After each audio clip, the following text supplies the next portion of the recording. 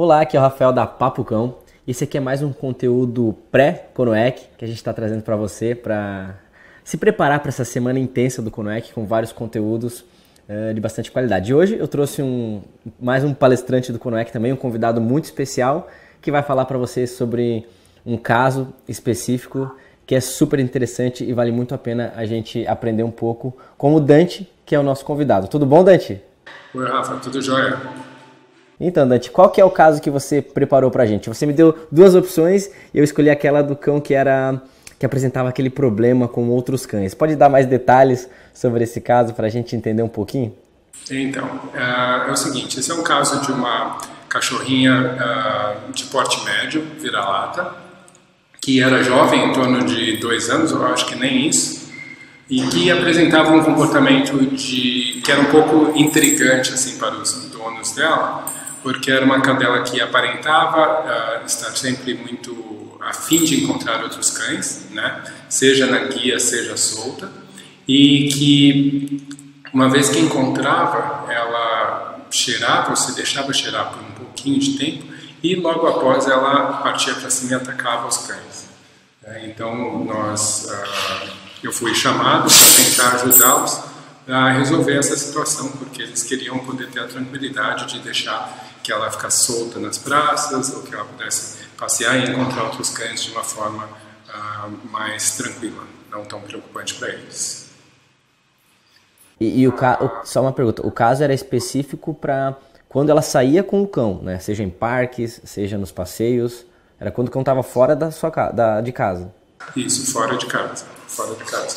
Em casa, o cão, na verdade, não tinha oportunidade de encontrar com os cães. Ele tinha um quintal que ficava no fundo e o cão também morava dentro de casa, mas ele não tinha, ah, ah, não passava por essa situação onde ele teria que encontrar com outros cães vindo na casa dele ou coisas assim. Entendeu? Mas, no fim das contas, o treinamento também abordou ah, o, o comportamento de forma a ajudar o cão a também poder encontrar com outros cães, mesmo em outros territórios, mesmo na situação em casa também. Tá? Ah, eu vou explicando e se você tiver qualquer pergunta no meio, você pode ir também fazendo para mim em relação ao, ao que eu estou fazendo, ao que eu estou explicando. Só uma ressalva, qual que, era, qual que era mesmo a idade dela, Dante? Então, ela era jovem, ela tinha menos de dois anos, não sei exatamente a idade, mas era entre 18 meses, né, um ano e meio e dois anos de idade. Certo, e, ela, e era o único cão da casa? Sim, sim, era o único cão da casa. E aqui vocês estão tendo a participação especial do Smigo. tá sempre presente, né, Dante? Ah, que nesse caso não me ajudou, nesse caso ele não estava presente, mas às vezes ele já chegou a me ajudar muito em muitos casos também. Então, uh, o que foi que nós buscamos então fazer nessa situação? Primeiramente, como em todos os casos, foi a gente tentar entender o que estava acontecendo. Uh, isso é uma coisa que é interessante, que a maioria das pessoas quando vai tentar treinar um cachorro acaba tentando entender assistindo os episódios, né? vendo o que acontece de errado acontecer na real para tentar entender. O que é, na verdade, ao mesmo tempo uma coisa boa, porque você consegue ver, e ao mesmo tempo uma coisa ruim, porque o cão passa por mais uma experiência daquela situação que você está tentando evitar, que você não quer que aconteça. Então, uh, o mais importante foi, antes mesmo disso, conseguir fazer uma anamnese, né? conversar com as pessoas a fundo para tentar entender uh, realmente o que foi que gerou, o que gera esse tipo de reação naquele cachorro. Isso incluía desde conhecer uh, o histórico de, do cão. Esse cão foi adotado de um abrigo, uh, veio para eles quando filhote, mas a gente então precisa saber de tudo, todas as informações que eles tinham em relação ao cão, a forma com que esse cão foi criado, se foi criado com outros cães, quando esse tipo de episódio começou a acontecer, quais eram as, as similaridades, né, as coisas que aconteciam que eles conseguiam reconhecer uh, que eram iguais quando esse tipo de episódio acontecia, se já tinha tido algum tipo de, de episódio ruim, sido atacado, se tinha tido situações onde o cão uh, tivesse tido experiências muito desagradáveis que pudessem também estar uh, gerando um nervosismo ao encontrar outros cães.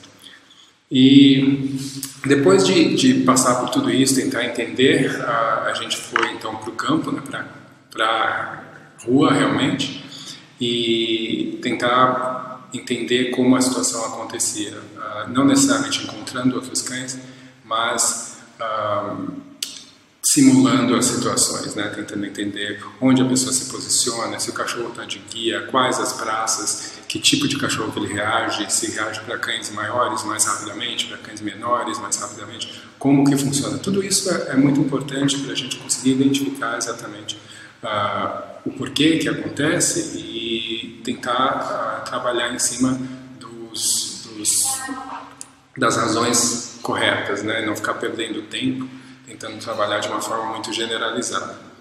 Tá, e você me. Só uma pergunta, você me disse que tem um lado positivo e o lado negativo, né? Que a gente tem que evitar a todo custo que o cão apresente esse comportamento. Quando você está nessa situação, você tenta estar tá sempre se antecipando para evitar que isso aconteça ou você deixa até o ponto em que o cão apresenta o comportamento? Não, a gente evita. Tá? Se a pessoa. Eu, por isso que essa conversa com o dono ela não é muito rápida ela leva um tempo, porque às vezes uma, a primeira descrição do proprietário do problema não é exatamente aquilo que aconteceu. Então você, quando você parte, uh, começa a pedir mais detalhes sobre a situação, uh, você consegue uh, entender um pouco melhor o problema e na maioria das vezes, por experiência também, né, de, de já ter visto outros casos, a gente não precisa passar pela situação para entender, a não ser que fosse algo muito bizarro, algo coisa que cachorro não faz. Né? E daí sim, talvez eu tivesse que pelo menos ver os precursores acontecendo uh, ah, para poder tentar entender. Mas nesse caso, como é uma situação de agressividade, de forma alguma a gente quer levar o cão a uma situação onde ele vai apresentar o comportamento final. Então, o que a gente fez foi, uh, no máximo, chegar na situação anterior a isso, né? onde a, a proprietária, no caso, conseguia uh, se antecipar e, e saber, ó, aqui é quando essa situação uh, potencialmente aconteceria. E aí a gente uh, tentar estudar o que está acontecendo naquela situação para que o cão nem chegue naquele ponto. para você ter uma ideia melhor, o que seria, é, imagina você tendo uma escala né, do cão, do temperamento do cão ou do, do estado emocional do cão. Então, vamos supor que essa escala vai de 1 a 5. 1 seria o cão relaxado e 5 seria o cão uh, reagindo de forma agressiva uh, com outro cão. a nossa ideia é nunca chegar no 5, obviamente. Se eu percebo qual é o 4, a minha ideia passa a ser a conseguir fazer com que o cão não chegue naquele ponto 4. Se eu cheguei no 3 e eu reconheço 3 e as razões do 3 é tentar ensinar ou trabalhar para que o cão nunca chegue nesse estado emocional. Como que eu faço isso? Se o meu cão, por exemplo, vê um cão uh, a uma quadra de distância e já chega no ponto 3, a minha uh, intenção então não seria passar simplesmente a evitar o, o ver cães a uma quadra de distância seria trabalhar para que o meu cão se mantenha no nível 1 ou 2 inicialmente, com esse cão nessa mesma distância. E a ideia é sempre tentar manter o cão no nível, no estado emocional uh, mais calmo e menos estressado possível e gradativamente ir introduzindo as, as situações, as condições que normalmente fariam o estado emocional dele escalar para 3, 4, 5. Tá? Mas uh, é uma coisa que, que quando você está trabalhando, uh, o seu objetivo realmente é nunca ver o cachorro estressado. Vão haver momentos onde você vai ver isso acontecer, mas vão ser simplesmente uh, momentos. Você vai tentar de imediato tirar aquele estímulo, reduzir aquele estímulo, para pensar novamente planejar como que você vai fazer uma associação diferente para o cachorro, como você vai fazer com que ele uh, não reaja àquele estímulo de forma negativa e voltar a trabalhar. Deu para entender mais ou menos? Deu, deu para entender. Deu para entender.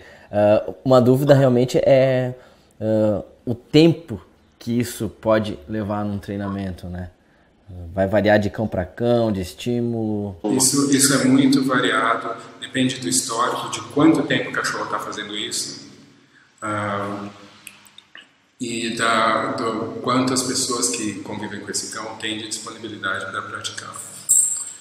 Ah, quando o cão passa por situações, por exemplo, como essa de muito estresse, em uma ah, quase que diariamente, né? Vamos supor, todo o cachorro passeia todo dia, uma vez ou duas vezes por dia, e todo dia rola esse estresse. Ah, vai demorar um tempo maior para que o cão consiga simplesmente estar num estado emocional normal. Tá? Isso a gente sabe que situações de estresse elevado, ah, as reações químicas que acontecem no corpo do cão podem continuar acontecendo por até 72 horas. Então, não adianta ah, eu querer treinar muito o cachorro que teve uma reação muito ruim de manhã e eu já à tarde querer treinar. Eu tenho que uh, conseguir trazer esse cão para um estado emocional uh, mais equilibrado para daí voltar a treinar. E daí disso também, uma vez que eu volto a treinar, eu vou depender da, do comprometimento, da quantidade de, de tempo e de experiência, de conhecimento que os donos têm e quanto eles vão se se prontificar para poder estar tá evoluindo no treinamento. Se as pessoas não têm tempo, ah, na verdade o processo provavelmente vai ser mais lento, mas é melhor não ter tempo e todas as vezes que fizer, fizer correto, do que não ter tempo e fazer rápido de uma forma que não é correta, onde o cachorro acaba tendo experiências ruins e você não vai chegar a lugar nenhum. Não importa ter 10 treinos ruins, é melhor você ter dois que sejam bons. A ideia é sempre é, deixar uma sessão de treinamento com uma boa impressão na visão do cão. Você pode até agravar o problema, né? Quando você não tem. Uh, tenta fazer um negócio, faz mal feito e ainda faz rápido, então você pode até agravar o problema. Sim, sim. Muitas vezes você agrava o problema. Uh, muitas vezes o que as pessoas fazem é mascarar o problema e, mas o problema em si continua ali atrás e, e só esperando uma oportunidade de é, essa máscara caia para ele se apresentar, apresentar novamente.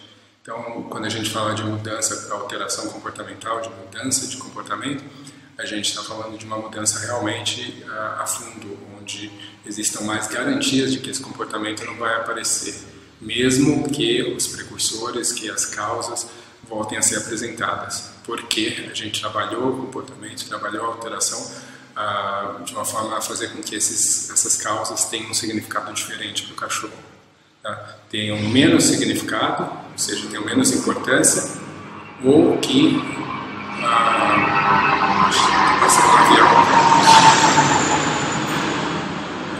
que tem uma importância que tem uma importância menor ou que passem até a ter uma, um valor diferente, um valor positivo cachorro. Ah, como eu estava mencionando, o caso de, de você ter, nesse, nesse caso especificamente, ah, o tempo de treinamento, na verdade, não foi muito demorado. Ah, ele precisou, acho que foi de três visitas e depois um follow-up, que seria um, checar com esses proprietários depois de alguns meses. E o processo já tinha mudado completamente, o cachorro já conseguia ter um comportamento muito melhor quando encontrava outros cães. Isso com, com a, a, como é que eu posso dizer, com a dedicação da família envolvida, né, Dante? Com a participação e a dedicação da família. Tá? Essa, essa é uma família que se, conseguia se comprometer e entendia exatamente o processo e para eles era muito importante. O cachorro realmente era um membro da família e para eles era muito importante que eles pudessem fazer isso com o cão. Então eles se empenharam para conseguir fazer isso. Obviamente que o treinamento foi apresentado de uma maneira que fosse possível para eles fazerem também. Né? Não é uma coisa que era dependente, por exemplo, de ter um treinador lá. Em alguns casos, dependendo da, da, da complexidade do caso, você vai precisar que um treinador esteja presente pelo menos nas primeiras sessões para conseguir não só manejar o cão, mas orientar as pessoas mais a fundo e por mais tempo até que elas consigam lidar com a situação por elas mesmas. Mas nesse caso uh, não foi necessário mais do que três sessões. Agora, uh, o que, como que a gente conseguiu, né? O que, que eu percebi nesse caso? Isso é uma coisa que acontece muitas vezes. Uh, cães que têm um pouco de nervosismo em relação a outros cães, ou seja, eles não estão certos 100% em relação ao que eles sentem quando eles veem outros cães. É uma mistura de excitação, mas também tem muita ansiedade. O cão não sabe exatamente o que, o outro cão vai fazer, ou ele não sabe exatamente como se comportar. Ele tem um pouco de medo, mas ao mesmo tempo ele quer ir. Então, uh, muitas vezes esse tipo de situação uh, gera momentos em que o cão se sente preso dentro de uma situação e ele não vê uma saída e acaba uh, explodindo e, e, reagindo de forma que não é apropriada no caso, nesse caso de forma agressiva. Então, simplesmente observando a linguagem corporal desse cão, uh, esse foi o termômetro que eu utilizei para medir o nível de estresse nas situações, uh, a gente pôde manter o cão dentro de uma situação, de um nível de, de ansiedade, de estresse reduzido. Ou seja, o que eu buscava era que o cão demonstrasse uma, uma determinada linguagem corporal, certo? Uh, e quando eu notava que essa linguagem mudava, mostrando um pouco mais de ansiedade, um pouco mais de estresse, eu percebia que aquele era o limite daquele cão e eu começava a trabalhar dentro do limite dele, fazendo com que ele uh, passasse a aceitar aquele limite, a curtir aquele, aquele limite de uma forma mais tranquila. Ou seja, se o cão via um outro cão a, uma, a um quarteirão e ficava e já começava a mudar, né? ele começa de repente a andar mais lentamente, o rabo levanta, o pescoço levanta, as orelhas vão para cima, eu percebo que tem uma, uma, uma tensão dentro da situação, eu vou então trabalhar para fazer com que esse cão se sinta mais tranquilo dentro dessa situação antes de me aproximar mais. Uma vez que eu tinha esse cão uh, uh, mais tranquilo dentro dessa situação, a gente conseguia fazer com que essa, essa aproximação fosse maior. Como existia um parque, uma praça onde as pessoas soltavam os cães, isso era possível porque a, a proprietária conseguia manter a distância que ela queria desse lugar onde havia cães. E o cão já tinha criado uma expectativa, uma ansiedade em relação àquela região. Então, eh, ela conseguia prever exatamente quando que o cão começava a ficar ansioso, quando estava se aproximando ou não da praça, e trabalhar dentro do limite. Uh, era um cão também muito inteligente, então percebia algumas coisas real, realmente muito facilmente. A gente trabalhou com a utilização de comida para uh, ensinar alguns comportamentos básicos para o cão, principalmente o comportamento de vir, porque isso era muito importante que o cão reconhecesse que quando eu chamasse ele deveria vir e sair da situação, uh, para que, uh, obviamente, saindo da situação, esse nível de estresse reduzisse. A gente foi fazendo isso até que os cães se aproximaram a ponto de se cheirar. E quando entrou nesse momento onde os cães se cheiravam, também aconteceu a mesma coisa. Uh, aí passou a ser uma questão de tempo.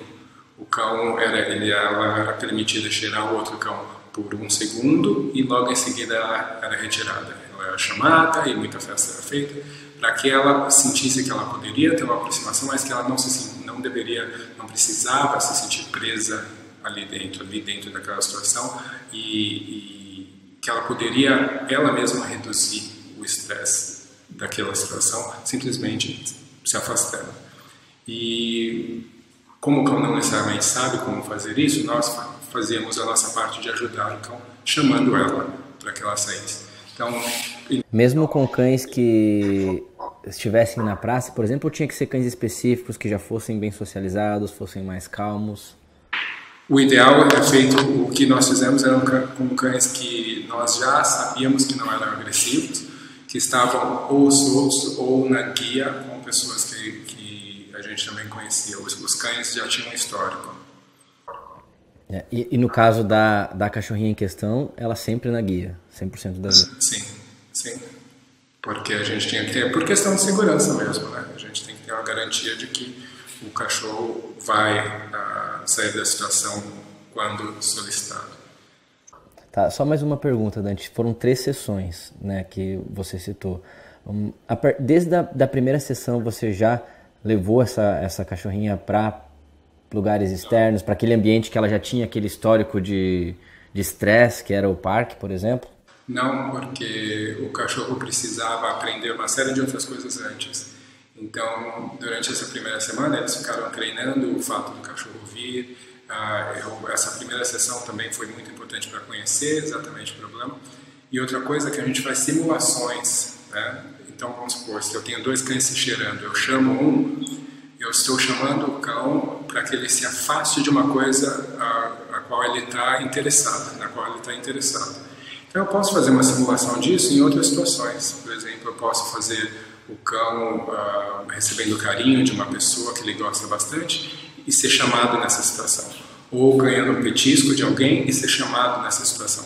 Ou seja, eu simulo uma, uma situação onde o cão tenha que deixar algo que o interessa para vir para mim e parabenizo ele por ter tomado, por ter feito essa escolha. Esses treinos você faz para que quando você chega em uma situação onde você precisa disso, por exemplo, no caso do problema com outro cachorro, uh, isso consiga, uh, a gente tem uma chance maior de que o cão vá responder. Uh, mesmo sendo sentimentos diferentes, né, uma coisa é o cachorro ter vontade de ficar com uma pessoa para receber carinho ou vontade de ganhar um petisco. Outra coisa é ele estar tá com outro cão ali que ele está interessado em cheirar, mas ele está um pouco ansioso. Mas o simples fato de ele ter praticado esse vir dentro de situações onde ele não está 100% focado na pessoa que está chamando, já ajuda a fazer com que a chance de resposta seja muito maior. Então, essa primeira aula é uma aula para entender o problema, passar as bases e passar a lição de casa para que a pessoa possa praticar e, numa aula seguinte, poder estar mais preparada para realmente começar a lidar com a situação, o problema. No caso, eu dei um exemplo de um quarteirão de distância, mas o nível de ansiedade desse cão era muito mais próximo. Então a gente nunca chegou a trabalhar com um quarteirão de distância, a gente trabalhou sempre uma questão de metros. Né? Quando a gente ouvia um cão a 15, 20 metros, era quando isso começava a acontecer, então a aproximação foi mais rápida também. É, porque como tu falou, ela não era reativa, né? Ela deixava o cão se aproximar, quando ela ficava cheirando, ela paralisava e de repente ela atacava outro cão. Exato, exato. Uh, o nível de ansiedade dela não tinha chegado nesse ponto. Só que, uh, pelo histórico e pelo comportamento que ela já estava apresentando, é um cão extremamente, uh, um, cão, um candidato muito grande a se tornar um cão reativo. Porque o que acontece? O nível de estresse, ele ele cresce a ponto do cachorro reagir, ele, cachorro passa por aquela reação, passa por aquela experiência de ter brigado e tal. O que, que vai acontecer na próxima vez que ele encontrar o cachorro? A chance dele estar mais ansioso é maior. Ou seja, a reação dele tem uma chance de acontecer mais cedo. Se o cachorro continua repetindo esse processo, ele vai começar também a reagir cada vez mais cedo, cada vez mais cedo, até o ponto ele não precisa chegar perto do cachorro para começar a já ter reações de agressividade. E isso é o que acontece com muitos cães reativos, só que as pessoas não percebem. Né? E uma coisa que faz e ajuda também muito essa reatividade é o fato do cachorro estar na guia, estar se sentindo preso. Né? Então, uh, aumenta bastante a ansiedade do cachorro, uh, o nervosismo né? de não saber uh, se ele vai poder se afastar ou não. Então, então, óbvio que a gente também tinha uma guia longa, tinha uma sempre deixava muito claro para o cachorro que ele não estava preso, né, que ele não se sentisse o tempo inteiro com a coleira puxando e tal, se, porque isso aumenta muito a chance de reação do cão. Então, o fato de estar usando a coleira, né, o cachorro se sentir preso, aumenta muito a chance do cachorro apresentar a reatividade. Mas nesse caso, o caso foi pego num ponto ainda cedo o suficiente que isso não estava não tinha começado a acontecer. Se já tivesse começado a acontecer, com certeza também uh, faria do processo um processo mais longo, não somente porque haveriam mais passos, mas também porque a gente uh, teria um histórico maior do cão passando por aquelas situações de estresse, situação onde ele uh, reage e, e recebe aquelas, uh, aquelas descargas hormonais do corpo e aquela experiência. É como um treinamento mesmo, tá, só que ele está treinando o comportamento errado.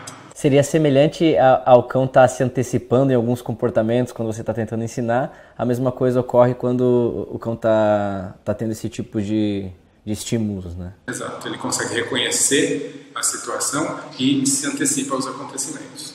Isso é o que permite que a gente treine o cachorro, também é o que faz com que o cachorro aprenda outras coisas que a gente não quer. Né? Essa habilidade de se antecipar e prever algumas, alguns padrões, né, e reconhecer alguns padrões e, prever acontecimentos e se, se adiantar a eles. Então, nesse... E você, você citou que ela era uma cachorrinha muito inteligente, então ao mesmo tempo que ela aprendia coisas boas, ela podia aprender coisas ruins. Sim, em poucas repetições. É, isso é uma coisa que... Mas normalmente ah, eventos traumáticos, eles podem, às vezes, muitas vezes uma vez só já é o suficiente para causar um aprendizado muito forte, ficar muito fortemente gravado na cabeça do cão. Então, é, é, por isso é importante que a gente evite, uma vez que a gente reconhece que existe, que a gente evite o, o, a situação e já comece a trabalhar, mas não precise ficar revendo né, o cachorro passar por aquilo, porque aquilo, na verdade, só está fortificando, só está uh, reafirmando para o cachorro que ele tem que estar tá preocupado com aquela situação. Ah, legal, Dante. E assim, Dante, a, a causa, uh, no fundo, não foi um trauma, então, dessa cachorrinha? Então, o fato do cachorro ser um cão adotado, a gente não sabe exatamente qual o nível de socialização que ela teve, que, nem que tipo. Uh, a gente muitas vezes tenta achar a causa e trabalhar nela, se a gente consegue achar, mas às vezes a gente não consegue saber qual é a causa exatamente. Uh, nesse caso, se por exemplo tivesse tido algum trauma, seria legal que eu soubesse, talvez eu até conseguisse trabalhar especificamente no trauma, mas já havia se mostrado que é uma coisa que já tinha, já tinha se generalizado a cães no geral. Não era só uma coisa só para cães grandes ou cães pequenos era uma coisa com cães em geral. Então, se fosse uma coisa uh, específica, um trauma, por exemplo, a gente pode trabalhar com um tipo de situação, se é um trauma com um homem, se é um trauma num local específico, é, então você consegue ser mais específico na sua abordagem. Mas no, nesse caso, uh, não foi percebido nada assim e mesmo que tivesse tido alguma coisa, os donos eles não tinham conhecimento suficiente para ter reconhecido isso e ter trazido isso para mim como uma, um fato, como uma informação relevante quando a gente estava fazendo a entrevista. É, por mais então que uh, a causa no fundo seja importante, Uh, o, o, principal realmente é, é, resolver o problema, né? E não o porquê que está sendo ocasionado aqui. O que passa a ser o primordial é o que causa a reação naquela situação. Né? Se você tem a condição de saber o que iniciou, né? qual foi a causa que iniciou esse tipo de, de reação do cão, na primeira vez, o que, que pode ter histórico, legal. Mas se você não tem, tudo que você, uh, que você pode fazer é tentar uh, estudar a situação e encontrar o que faz com que o cachorro reaja naquele, naquele momento, hoje em dia. Né? Quais são os precursores? É quando é de dia, é de noite, é na rua, é quando está na guia, é com uma pessoa específica. É... Isso tudo é muito importante que você saiba, porque isso você pode mudar. Os fatores que, que podem ter causado um trauma, um trauma há muito tempo atrás, às vezes você não pode mais mudar, então eles perdem um pouco a relevância se, a não ser que você queira criar uma nova associação ou tal, às vezes você consegue, mas muitas vezes não. Então, a causa que é primordial que você reconheça em qualquer problema é o, a causa da reação hoje. O que é, quais são os fatos que causam essa reação hoje e tentar trabalhar com essa causa. E trabalhar naquele nível que você citou, que é para manter sempre o cão menos estressado possível, mais relaxado possível, na verdade. Né? Exato, exato. Sempre existe um nível de estresse quando você está tentando testar qual é o nível que o cachorro consegue chegar. Uh, mas a gente tenta sempre fazer com que esse nível de estresse uh, nunca, nunca se eleve a ponto de fazer com que o cachorro não possa mais aprender ou que o aprendizado dele seja um aprendizado negativo. Que a experiência dele esteja carregada de sentimentos ruins e que isso vai acabar sendo levado para frente. E, e, a pergunta então para a gente finalizar, Dante. Hoje, uh, uma cachorrinha que apresentava todos esses problemas que você citou, que tinha problema em encontrar outro cão e tal, como que ela é hoje? né? Porque foram três sessões, a família certamente continuou aplicando, porque eles eram muito dedicados, isso era muito importante para eles, como você mesmo citou mas hoje o problema foi 100% solucionado, ou seja, ela é uma cachorrinha que consegue interagir normalmente contra o cão, brinca, não, não fica agressiva, ou ela simplesmente aprendeu a aceitar os outros cães de uma forma mais calma, mas ainda assim eh, ela não interage com outros cães. É possível fazer isso acontecer, ou a gente tem que sempre respeitar esse limite do cão? O cão pode ser que ele aceite, mas não, não brinque 100% com o cão. Isso vai depender de cada cachorro, com certeza. Uh nesse caso, a cachorra se sentia mais relaxada, mas ah, a partir do momento que eu deixei de ter contato com esses, esses proprietários, uh, o, que, o que acontece é que a gente tem duas, dois fatores. A gente tem a melhora do cachorro e a gente tem a mudança no comportamento das pessoas, porque agora elas sabem reconhecer se algo pode ser ruim ou não. E elas já se antecipam e elas evitam. Então, os problemas não acontecem mais. Mas eu não sei se é porque simplesmente o cachorro melhorou 100% ou porque a pessoa também reconhece, pô, esse cachorro está um pouco, uh, tá forçando um pouco a barra, ele está sendo um pouco incisivo demais, assertivo demais com a minha cachorra, é melhor separar essa situação porque eu não quero que algo de ruim aconteça. Ou se é porque a cachorra simplesmente aprendeu a lidar com as situações ela mesma.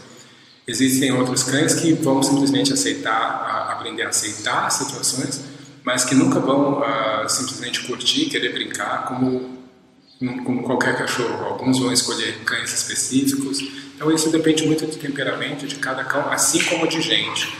Muita gente tem a, ideia, a expectativa de que cães, por serem cães, eles devem socializar, eles devem brincar, e não é assim. Uh, alguns cães gostam disso, outros cães não gostam tanto disso. E não necessariamente porque eles tenham medo, mas simplesmente porque o temperamento deles é de não curtir tanto isso. Eles querem conhecer, encontrar outro cachorro, cheira ali, tá, beleza, tchau. Né?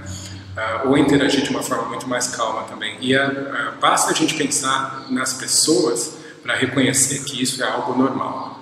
Uh, não precisa ser sempre parque de cães onde todos estejam rolando de alegria, brincando. Não, tem cães que vão ali, encontram um cachorro, encontram outro, mas preferem ficar cheirando, preferem ficar perto das pessoas. Então, isso uh, depende uh, bastante de cada indivíduo. Como eu mencionei, nesse caso, uh, depois de alguns meses, acho que foram três ou quatro meses, que nós nos falamos de novo, essas pessoas sempre me indicam clientes a, a cachorrinha já não tinha mais problemas nos passeios, eles conseguiam ter uma vida normal, que é o, objetivo que eles tinham também, né?